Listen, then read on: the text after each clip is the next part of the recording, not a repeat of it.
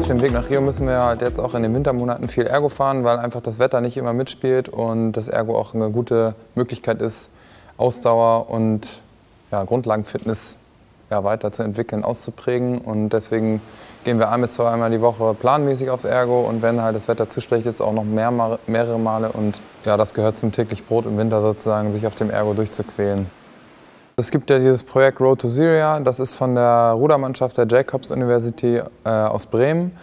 Ähm, das findet am 14.11. statt und ist quasi ein Projekt, ein 24-Stunden-Rudermarathon, wo die ja, Sportler versuchen, die Distanz von 3078 Kilometern zurückzulegen. Das entspricht der Distanz von Damaskus nach Bremen.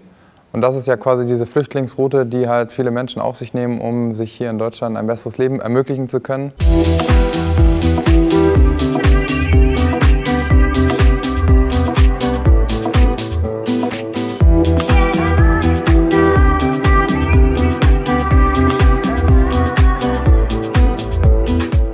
Also es ist auf jeden Fall eine klasse Aktion und deswegen denke ich, sind wir auch alle sofort dabei gewesen.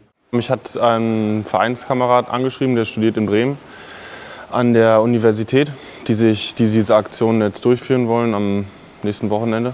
Und dann hatten, hatte ich das dann gleich weitergegeben und dann haben wir in unserem Kreise so besprochen, ob wir vielleicht noch ein bisschen mehr machen können, als es nur bei Facebook zu teilen. Dann sind wir darauf gekommen, dass wir vielleicht selber ein bisschen daran teilnehmen können, indem wir so solidarisch auch ein paar Kilometer rudern.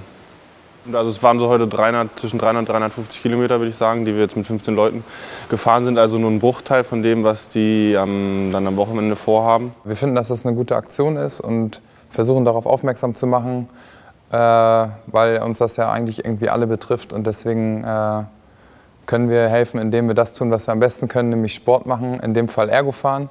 Und äh, hoffen, dass viele mitmachen und dass äh, alle quasi ja, der Ehrgeiz packt und vielleicht sogar noch mehr Kilometer als 3078 rauskommen.